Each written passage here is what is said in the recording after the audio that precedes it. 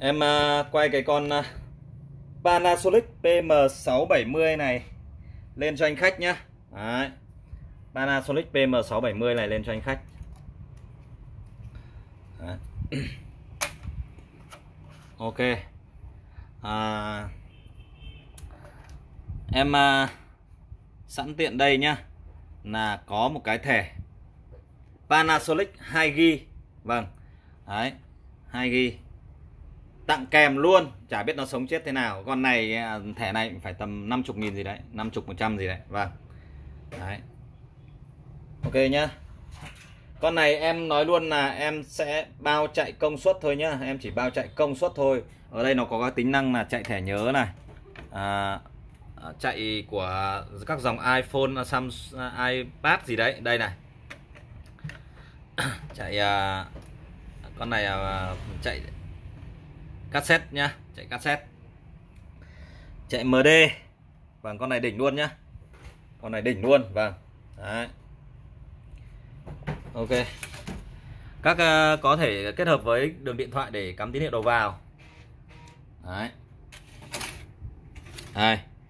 Đấy, hàng thì phải nói rất ok nhá.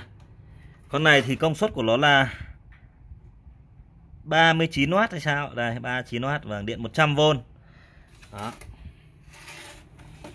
Đấy.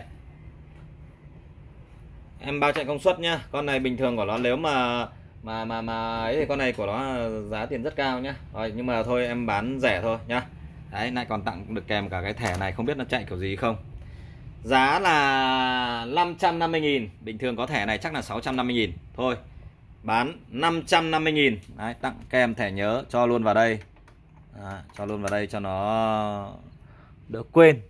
Mà quên mất là em chả biết là nó lại nó lại cắm ngang hay cắm dọc nữa rồi.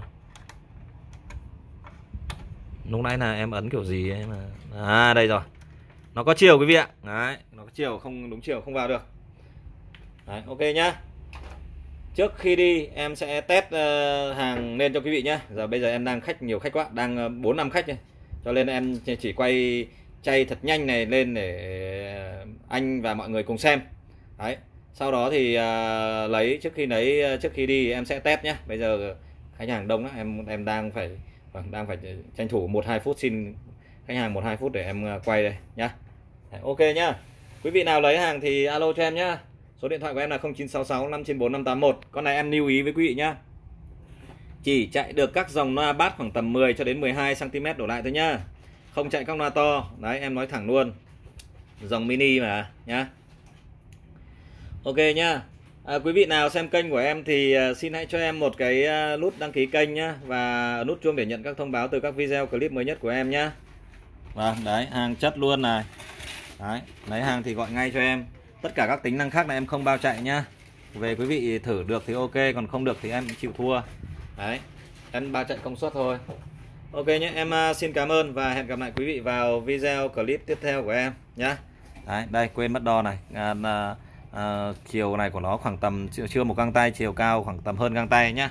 Ok em xin cảm ơn nhá.